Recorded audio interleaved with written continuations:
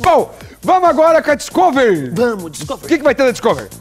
Hoje no Discovery teremos um caso muito especial, cara. É a porquinha esperta, ela faz algo tão interessante. Eu falei igual Discovery, tá legal, né? É isso aí, vamos ver, vamos ver. Porcos. Leitões. Suínos sujos.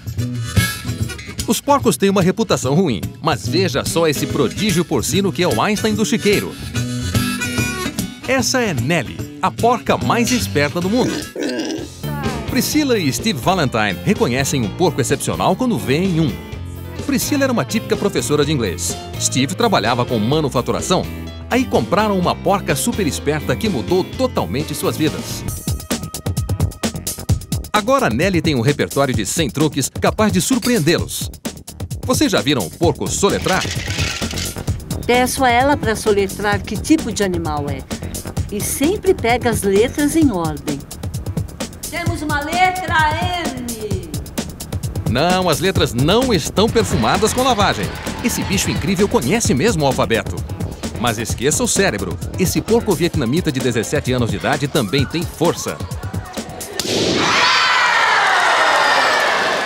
Nelly tem um talento tão natural que o casal largou o emprego e agora sai pelo país exibindo essa porca incrível que é a estrela do show.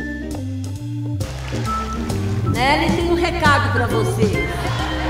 Após verem como a Nelly é inteligente no palco, esperamos que não voltem para casa e façam um sanduíche de presunto. Que porco!